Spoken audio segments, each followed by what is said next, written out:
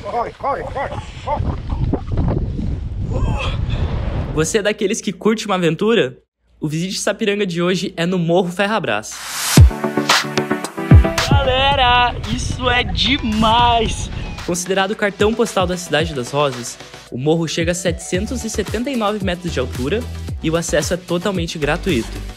O município, localizado a uma hora de Porto Alegre de Gramado, é considerado a capital do voo livre e a referência nacional na prática da modalidade.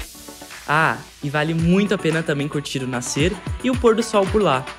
Arrisco a dizer, mas é uma das vistas mais bonitas da região.